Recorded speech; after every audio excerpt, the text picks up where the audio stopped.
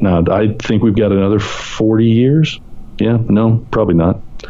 But it could be four years. But it could also be tomorrow. I mean, and that's here. That's the point.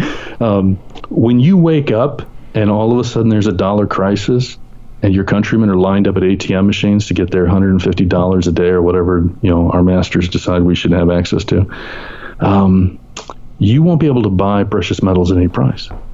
A rare situation is allowing you to buy some ETF stocks for 50% off. Learn more at crushthestreet.com slash profit 2017. Hello, everyone, and welcome into crushthestreet.com. We're going to have a discussion today, which is a follow up to a previous interview I conducted. However, it's with a first time guest. Yeah, so my guest today is Kevin Massengill, the founder and CEO of Meraglim Holdings, which is, has a creative new approach to predictive analytics in capital markets, which will improve performance and vindicate active investing. But his partner in this project is New York Times bestseller Jim Rickards with his latest book, Road to Ruin. And we discussed that book on my show not too long ago, and we're going to be doing a follow up to that interview right here, right now with Kevin. And uh, let's get right into it. Kevin, thanks for joining me today at Crush the Street. Well, thanks, Kenneth. It's a real privilege to uh, to be here and join you and your listeners. Of course. Well, I, I want to start off with the Fed and what they've done and kind of what the impact has been on interest rates. And one of the economic indicators that we are seeing right now is a flattening yield curve, and I, presume the threat of an inverted yield curve. We know from historical data that this has been a clear sign of what investors are fearing in the future and a precursor to economic recession. So, what are your thoughts on where we are right now? No, that's a great question. Um, so, anytime you find yourself out on the fuzzy end of a 5,000 year unprecedented curve, you know, you got to ask yourself, how do you think the story ends? Mm. Um, right? We're, we have never seen the sort of global debt to GDP numbers we're operating at. And right now, the entire world's debt to GDP is something around 325%. And even that's a, a really unhelpful measurement compared to something like debt to government revenue, right? Mm-hmm. Which would exactly tell you how much money they've got to, to handle the debt that they've taken on. What you're looking at is the end of a failed 40 year experiment. Um, and and when you listen to these people speak, when you listen to Fed governors or uh, Lagarde or Carney or Draghi or Yellen or any of them, here's a here's a, a way I recommend you think about listening to what they're saying. If, if we were all sitting around and we listened to some guy get up and he's wearing short pants and a Smokey the Bear hat, and he starts telling us in this very impassioned, excited language about how he and his fellow forest rangers really smart guys that collected a ton of data. They're going to fix Yosemite. They're going to make it better. Going to make it more efficient. You know, we'd be looking at each other like, "What the hell is this guy saying?" Uh, we're going to tweak the number of badgers. We're going to fix the number of bears. We're going to make Yosemite better, right? Mm-hmm. So everybody listening to him knows intuitively two things immediately. First of all, you know the guy's a knucklehead, right? He's just an idiot. Um, you're listening to the classic example of Hayek's fatal conceit, right? This idea that any any person or group of people are ever going to have enough data to be able to actually do the things they think they're taking on. And we know instantly, as soon as he starts that, as soon as he starts making these changes, all he's going to get at the other end are a kind of a banquet of unintended consequences, right? That he's now going to spend all his time trying to fix the problems he's already caused. So now transfer that you know that that that absolute disbelief you, you, know that you properly have when somebody gets in front of you and starts talking about how they're going to tweak these incredibly complicated complex dynamic systems. And now picture Yellen and Draghi and Carney and Lagarde standing there talking just exactly like that idiot forest ranger about how they're going to fix the economy right? Wow. they're gonna Wow. they're gonna dial up a little inflation. They're gonna dial down some unemployment. They're gonna they're gonna make it better, right? If you recognize that financial markets are this massive, gigantic auction executing through price signals, right? All the all the decisions of the entire world's population in real time every day. Buy this, don't buy that. Save my money, spend my money. Every, you know, a millions of decisions made every day by you and every other market participant. That's real data. That's real market signals. And these clowns are going to get up and talk about how they're going to fix that, right? They're going to they're going to make it better. You should recognize um, these aren't adults that are that are solving complicated problems that you can't quite understand. You should recognize and hold in contempt these people just exactly the way you would that forest ranger. In fact, next time you see Janet Yellen, picture her in short pants and a Smokey the Bear hat. You got the right idea. right? Yeah, Um, no, these people have no idea what they're doing. Kevin. It's- well, one, uh, I'll just jump in right there. Uh, it's it's in the same vein, so I you can definitely continue. But one of the things that I had read in the Federal Reserve's press release. It, it came right out of this. It says on a 12 month basis, inflation has declined recently, and like the measure excluding food and energy prices is running somewhat below 2%.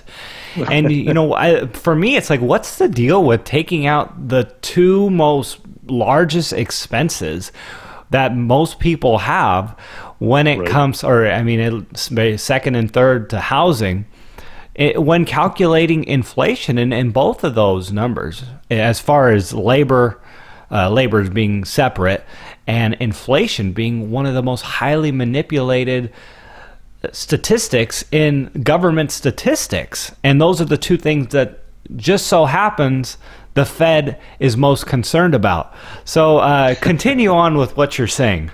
No, you're exactly right. So when you see that kind of just shameless behavior, um, you know they're in a box. They're not doing that because they want to. They're doing it because they have to, right? If if you actually reflect real inflation, government goes bankrupt immediately. It, everybody, and it's obvious to everyone. It's the same reason they're doing massive short selling of paper gold. It's just trying to keep a lid on a failing system so it doesn't blow up on their watch. That's all they care about. Uh, getting their book deal and getting out of that before the explosion happens. That that's you know in their in their heart of hearts, lying looking at the ceiling at two in the morning, wide awake, they are terrified. They have no idea what they're doing. Wow. You know, you know my, my partner Jim Rickards once got a chance to buttonhole Ben Bernanke to ask him about this lunatic money printing QE thing. And and and Bernanke actually said, well, you know, it's an experiment. we, we won't know the outcome until, you know, years later when some future historian writes about it. Wow. What? you know, it, that, that's the equivalent of let me destroy your incomes, let me destroy your price signals, let me destroy the value of your currency, let me destabilize your society because I really feel strongly this is going to work out well. But, you know, really no idea. So Wow. let, me, yeah, let me try. Yeah, I mean, a shot in the dark uh, is the understatement of the week, right? Uh, Kevin, I want to talk about Bitcoin and then go into gold as it relates Okay. uh, to the economy, both as they relate to the economy. And I know you cover fintech, you're very well versed in it, and I'd love to get your thoughts on what you see happening in Bitcoin and its future, considering the current environment. Boy, that's a great question. So, um, well, let me first say I, I think of myself uh, as an investor, not a speculator. And so, for me, a platform like Bitcoin is fascinating as a social signal, to quote Pippa Malmgren. It's a fantastic signal. Um, I don't view it as a great investment because, like fiat currency, it has no intrinsic value and so I am leery of anything um, that's basically tertiary level wealth. So if you think of primary wealth, it's what God gives us. Secondary wealth is what we do with what God gives us, right? He can give us access to iron ore and fisheries and hmm. yeah. herds of animal. We turn that into beef and fish and iron ore, right? Those right. are secondary levels of wealth. Tertiary levels of wealth are all the paper derivatives that come out of that futures contracts and stock certificates and all that. Now, it's all legitimate and it's fine in its place and it's useful and it's it always emerges when you have sufficient surplus energy and society can can can can evolve to that level. But it's also the first thing that's all wiped away you know, in the great corrective uh, crashes that have to happen. Um, and I fear that Bitcoin would be a casualty in that sort of a wipeout of tertiary assets. Now, that said, as a speculation, uh, it may be fantastic, right? People who bought in at fifty dollars are, are sitting pretty, you know, pretty comfortable right now. So, as a speculation, it's probably as good as any. Um, I, I, don't speculate, so I'm I'm a poor person to ask. Um, so, from an investment standpoint, it would make me uncomfortable because I, I, don't trust governments. I don't trust um, their uh, intentions toward it, their ability to just wake up one day and outlaw it, or intercept it, or wipe it out, or false flag attack it, or any number of things that they could do if they really decided they want to. Um, but that said, as a signal, using Pippa Malmgren's way of thinking about this, it is a fantastically interesting signal that the world is waking, at least some segment of the world is waking up to the inherent risk they see in fiat currencies. Right? This isn't just a phenomena of what's available by way of technology. I view this also as a phenomena of a social signal of people voting with their their wallets to get to, to, to reduce the exposure they feel in government's fiat currency regimes. And in, and in that regard, as a signal, Bitcoin and the emergence of all the cryptocurrencies, I find really interesting. Sure. Uh, because at the end of the day, fiat currencies are simply a confidence game. They're not backed by anything other than your confidence that tomorrow somebody will accept it in exchange for goods and services. The right. rise of these cryptocurrencies is a reflection of the diminishment of that confidence. And, right. Yeah. And you know, I, and I've had the conversations w- about that with other people, and yeah, I, have come around to believe in it a little more than just a, a fiat paper and, and, the confidence that we put into it, because it's not it, because of the technology that's behind it, of course. And I don't want to get into that with you or, or even debate. No, I it. love the blockchain. Oh, I think that's one of the greatest advances since double entry accounting. I, you know, I think blockchain is absolutely absolutely going to revolutionize business and and uh, and economics and how how chains of tr- uh, transmittal and confidence can be done. As, I, am with you. I love the technology. I mean, transferring money across borders, literally just turning your computer on the other side, your your Bitcoin is there. We're seeing the benefit of that happening Absolutely. across the world with people. Absolutely, I couldn't agree more. That's a functional or transactional value and I, you know, there's other than gold, I, I can't imagine anything that serves as good a purpose in that role. Um, but again, that said, I just want to distinguish the difference between that and buying it as a speculative investment because you think it necessarily has to go to 10,000 or whatever the latest projections are. It might, but it might not. And so I just, I, I would use it as a transactional mechanism like you just described.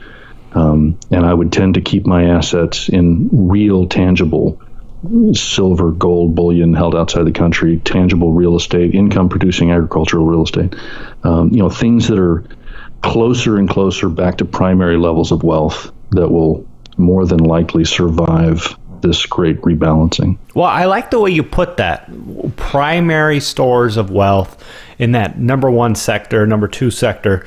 Um, cryptocurrencies have stolen the limelight, let's be honest here, of gold and silver. And a lot of people who have been concerned of, about the economy have invested in gold and silver and have been on the sidelines when it has come to to Bitcoin and you know Ethereum now and some of these other ones. Mm-hmm. Uh, so let's just get your thoughts here on gold and silver. And has the move in, in Bitcoin, you know, you think a lot of this money, this capital that has entered this crypto space is going to go into gold and silver when we do see them move? Or, or do you even think that's going to happen? Well, that's a great question. Um, I, I think it doesn't matter, and I'm and I'm not being flip. Here's why I say that. Um, the amount of money that's invested in Bitcoin is such a tiny percentage of the world's wealth that it's almost unmeasurable. Um, and, and you can almost say the same thing about gold, quite frankly. Right. Both of them constitute such a tiny percentage of the world's assets. There's a, I, I recommend your your listeners pull up a recent infographic that was done by Visual Capitalist, mm-hmm. and they have a breakout of the world's assets. And the final three pages of your computer screen as you're scrolling through, looking at these blocks stacked up to get to the bottom, is the, the quadrillions of derivatives. But at the very top of the page, it starts with a pinpoint on the page that represents Bitcoin. um, and, and, again, well, that, that almost sounds bullish better. for Bitcoin then. Uh, oh, absolutely. I, I wouldn't disagree with that at all. Um, I just, again, I have, I, I, view that as part of a tertiary level of wealth that I can't control. Mm. Uh, where, I, where if I have gold and silver bullion in a vault outside the banking system, outside uh, political risk jurisdictions like the U.S., um, then I'm more comfortable than a Bitcoin that, fascinating as the technology is, and as incredibly useful in its transactional capability as it is, I just don't trust that I couldn't wake up tomorrow and find out the NSA just wiped all their servers. I just, uh, maybe that's completely Luddite naivete on my part, but, you know, again, I just am, am leery of long term investments in things that lack intrinsic value. Sure. That's all. Well, uh, one of the things that Bitcoin we've seen, and, and many of the gold analysts have admitted to this, is that it's it's not manipulated. It's an unable to be manipulated. And maybe you disagree with that, but that's not really what I want to ask you. the The problem right now is gold and silver have been largely manipulated, and the problem is that we're not seeing those go up uh, in, in, the in the face of manipulation. So, what are your thoughts on that? Are we gonna are we gonna get through this? Is J.P. Morgan gonna win this battle, or, or uh, is there some hope for those of us holding gold and silver? Oh, it's a great question. I, you know, I view I view this as watching people shoving a uh, beach ball ever farther under the water. Good luck. right. You you know how this story ends, and it always ends the same way. There's always a rebalancing. There's always a time when the world's fiat currencies blow up. Nobody trusts each other's currencies. They have no intrinsic value. So everybody's currencies are reset against the amount of gold that country owns. Mm-hmm. That's how the story always ends. And so that's why guys like Jim Sinclair in the 70s, when gold spiked up to $200 an ounce from just 35 a few years earlier, and then it collapsed 50% all the way down to 100 people were just distraught despondent. And they were just they were just horrified.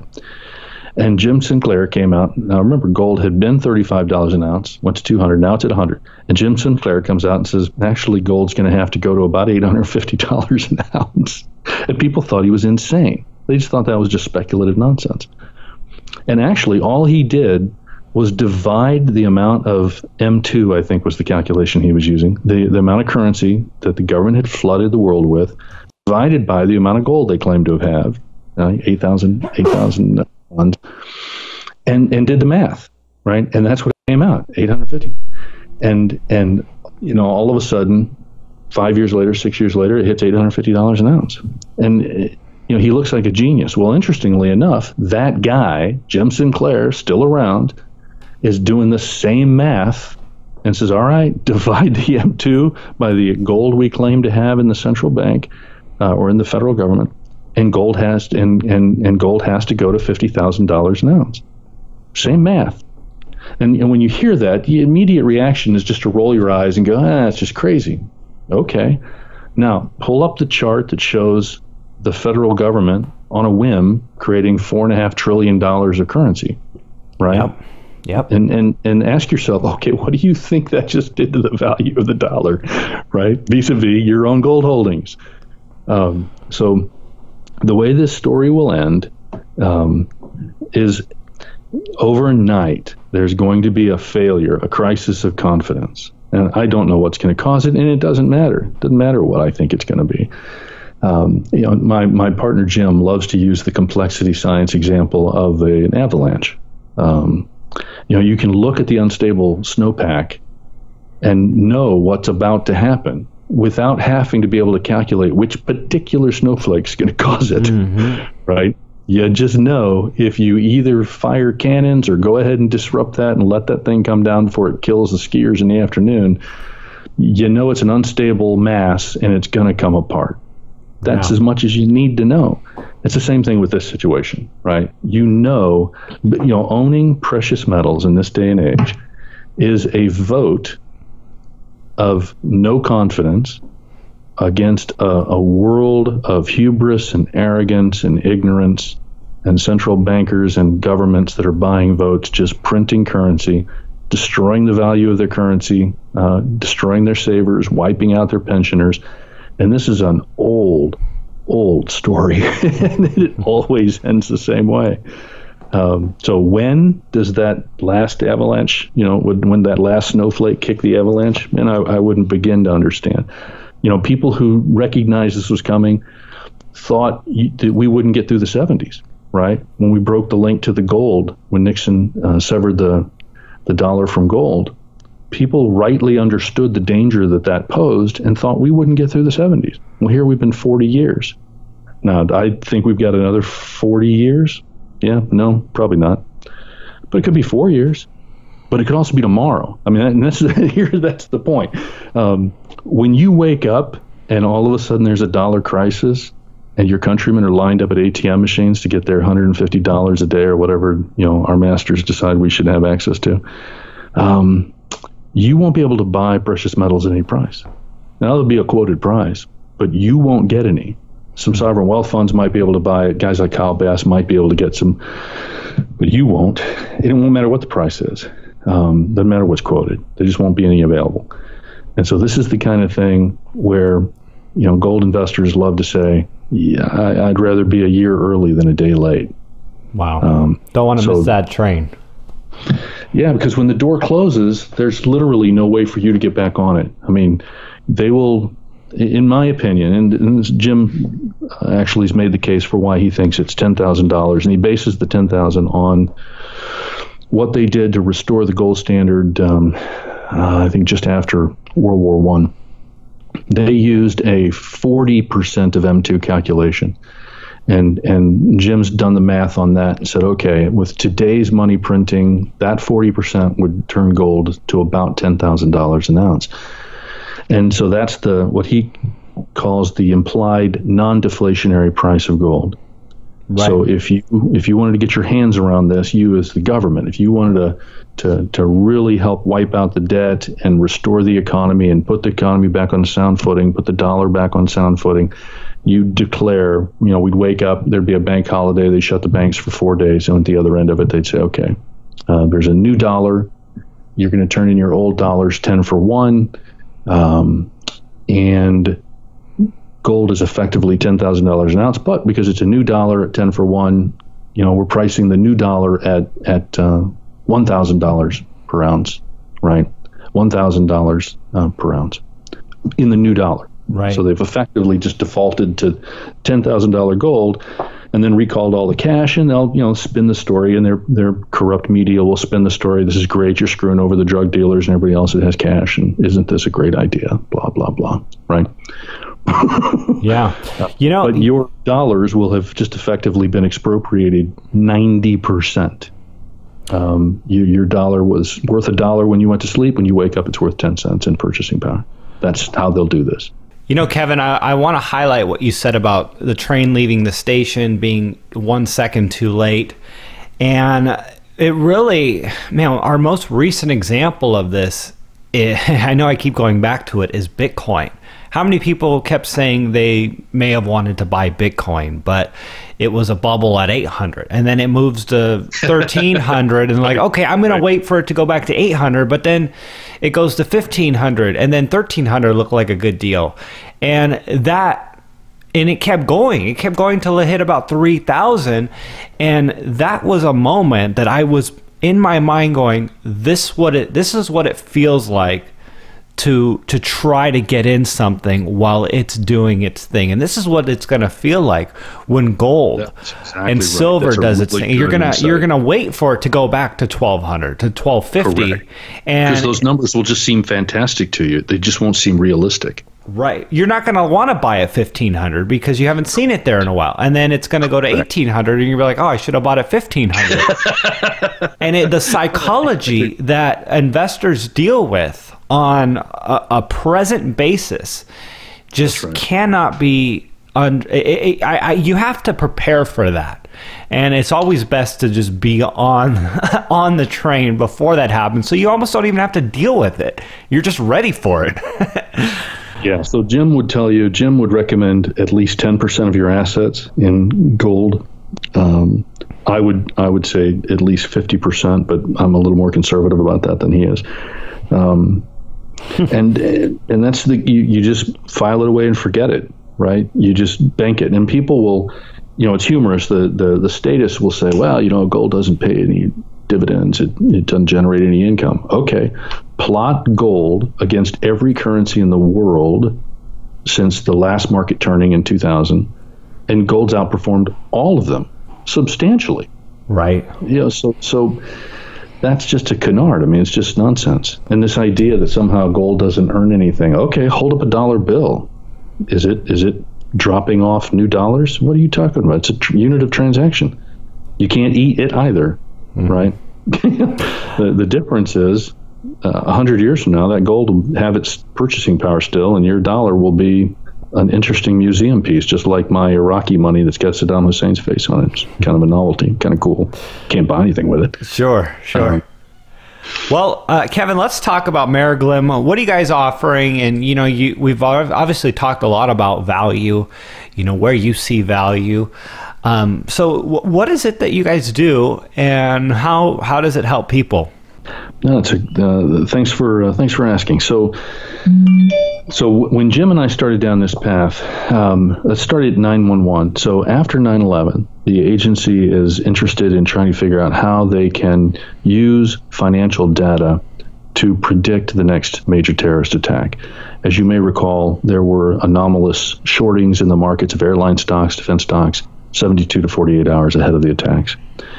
And it, so Jim was on that team that helped pull that together. And the answer is yes, you could find those anomalies, and they did. Um, and for for domestic political reasons, I won't bother to go into it. At, at some point, the agency closed it down, not because it didn't work, but because it was it was domestic political exposure to them. Um, Jim and I met. I was running the Middle East for one of the U.S. defense contractors, and Jim was a speaker at a conference in Bahrain, and I had read his book Currency Wars, and it talked a little bit about this Project Prophecy, the CIA program. And I, I, was fascinated by his book, and I was interested to meet him, and we just got to to to, to get to know each other there, and really hit it off.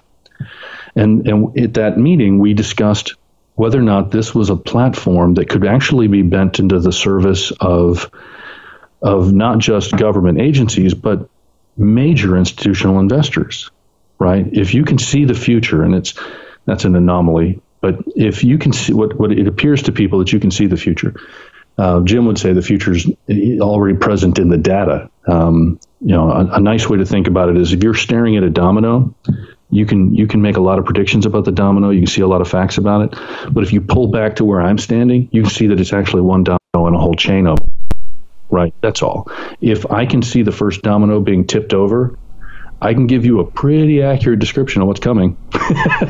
no, but you, if you're just looking at the one domino, you can't see it, and it'll appear magical that I called it in advance. Mm-hmm. It's not prediction; it's just seeing the data. Um, that's all. So what we've done is we've we've taken the math and science that was applied against this problem after 9/11. So let's say you and I are intelligence analysts. Towers have come down. It's, it's the day after 9/11. The last thing our boss wants to hear is us give us the typical quant answer, which is, you know, we just don't have enough data. But after another four or five of these kind of incidents, we'll start to get enough data. We can start doing correlations, regressions, mean reversion. Right? You, you, mm-hmm. Nobody's going to take that answer. So what the intelligence community does is something called Bayesian inference. That's 200 year old math, but it's just simply positing a hypothesis, giving it your best guess, and then rationally thinking through all of the indications and warnings that you could expect to see to help validate that hypothesis or help refute the hypothesis and, and, and cause you to, to think better or get more accurate data, right? That's Bayesian inference. What we've done is we've married Bayesian inference, quite common in the intelligence community. We've married that to behavioral psychology, complexity science, computing with words, textual inference, and historical perspective. And if you're, uh, if you and I were scientists at Los Alamos, we use complexity science every day. 60 year old math. We, we use it to model nuclear weapons. You know, in, in tests we can't conduct underground anymore. There's all kinds of things that are being used for complexity science. But for whatever reason, all of this has just simply bypassed the financial industry, the governments, the central banks, and the financial industry practitioners. They've just let it, all of this math and science just go by them. That's why I joke, uh, we're Copernicus. You know, Jim's comment once, um, Jim Rickards' comment was, you know, 70 years from now, the world would catch up. You know how science advances with the death of one tenured professor at a time. so, mm-hmm. so 50, 70 years from now, they would come around to understanding that financial markets are complex adaptive systems. They don't lend themselves to the beautiful physics, math, that you know today's economists try to try to apply. Efficient market theory or value at risk models all the just nonsense. Elegant math but completely inappropriate completely non-valid to real complex adaptive systems.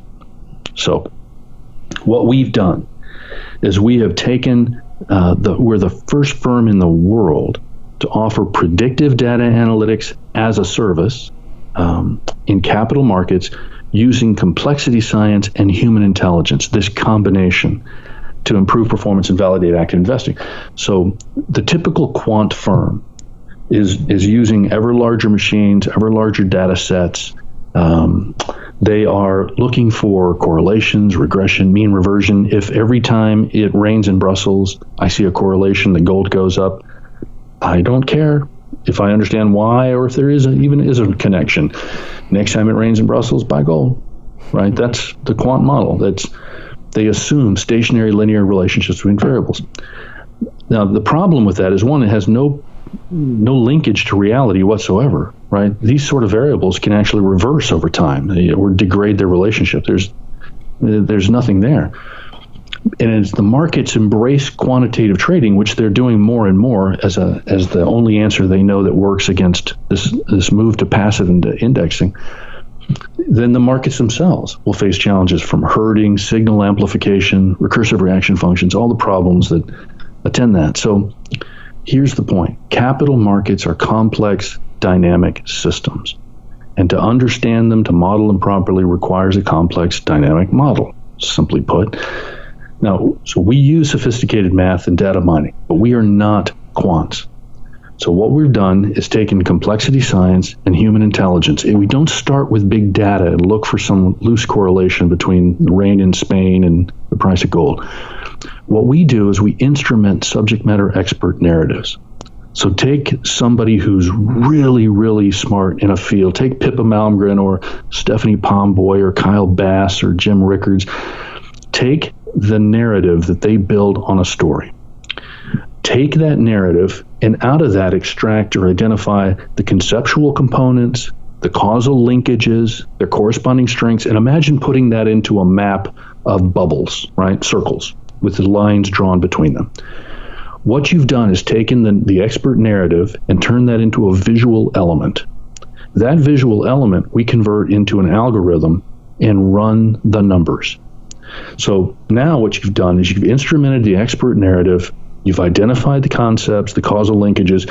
Then you partner with a fantastic partner like we have with IBM, and we turn Watson loose on absorbing what they read 9 million things a day in every language they listen to all the video transcripts right mm-hmm. so now you've got these maps these visual fuzzy cognitive maps we have watson doing the analysis on every one of those nodes changes inputs to those nodes slightly better slightly less more different and then the algorithm runs run it a thousand times because it's all integrated. And what you get at the end is a footprint of uncertainty, to use the language my chief data scientist would smile to hear me parrot from him. and, and what you get at the end may appear um, not obvious to the layman, but it is completely, profoundly different from the quant models. So we are literally talk, starting with human intelligence filtering that through complexity science and using big data artificial intelligence to populate the nodes. Remember I said we would we would think about those indications and warnings if if we're right, what should we expect to see? Well then it's Watson that's out there scanning the world's input to look for those indications and warnings. Something no human could do. But absent our human narrative, our human intelligence, Watson wouldn't know what to do with the data right? It wouldn't sure. it wouldn't know how to apply meaning to what it's seeing. So it's that combination of complexity science and human intelligence we think is so profoundly different than anything else that's out there. Well, that's incredible. And uh, so I, I, guess my my next question is if people want to to reach out to you and learn more about what you're doing, where would they go, and what exactly are are you guys offering them? Thanks. So um, that's so there's two ways to think about that. First thing, uh, I would recommend you go to our website, meraglim.com, M E R A G L I M. Um, and, and, one quick side note um, when Jim and I were thinking about what to name this, com- this uh, company, we wanted to convey the idea of active reconnaissance. And you know, in a former life, I was a, a soldier and a, um, uh, a scout platoon leader. My, my, my mission of my men was to go out and find the enemy and get back without getting killed. Um, and and we wanted that idea. We wanted to capture that idea of going to look for trouble, going to look for opportunities. And and Meraglim. So we went through Latin, Greek, Hebrew dictionaries, and Meraglim, which uh, I, I'd known the story all my life, but I never knew it had a name, is the Hebrew proper noun for the name of the the 12 man reconnaissance team that was made up of the 12 crown princes of the 12 tribes that Moses sends into the promised land hmm. in Numbers 13.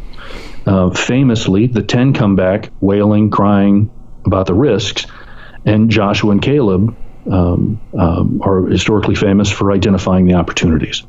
And Jim and I thought this is a perfect allegory for what we're trying to do to go out, find the risks, find the opportunities, and, and kind of report back to our clients. So that's what Meraglim. The is the Hebrew name of that 12 man reconnaissance team. How cool is that? That is cool. Yeah. Um, so, so two ways to think about the value prop. So for anybody that's that's managing big amounts of money, follow that website, follow uh, the press releases. Uh, we'll be announcing something with IBM this week. Um, and when you're interested, let us know, and we'll come talk to you. Um, as we do the, we've already written the algorithms. As we do the integration with Watson, we're going to be looking for some fantastic industry participants to sit and join that development program gratis, just to to take their counsel and get their advice and, and help shape that uh, that whole process. So we'd love to have that conversation. We've got a, a, number that have already volunteered and love to do it. We'd love to have some more. Um, on the on the investment side, we're about two weeks, maybe three weeks away from opening the data room to accredited investors uh, we're going to launch an A series raise. Jim and I have financed this all to date. Uh, and now we're getting ready to open it up to accredited investors. Our fantastic uh, broker dealer, WealthForge, will manage all of that, so it's all completely compliant. But again, get on meraglim.com, click on any of the articles, um, or click on the contact us page, give us your email address, and we'll just keep you in the loop as that goes forward. So if you're interested, in a you know in a private placement in this absolutely unique intersection of complexity science and human intelligence going to tackle some of the hardest problems in the world you know, this is a great way for you to to uh, to participate and join us. Wow. So, well, very exciting. Uh, an opportunity to partner with you and uh, Jim Rickards, uh, Meraglim. Uh, Kevin, I, I want to first of all thank you for your time coming on Crush the Street and just sharing your knowledge and, and, years of expertise and experience and, and research that you've done in the markets and uh, this awesome opportunity to be able to be involved with what you're offering going forward here. So, uh, thanks again for coming on the show with me. Well, it's my pleasure and, and quite an honor, Kenneth. You run a, a fantastic show. You have great guests and, and you have great subscribers, and it's just a real honor for us to be able to join you today. Awesome, sir. Well, hey, I appreciate that. Uh, we will talk soon.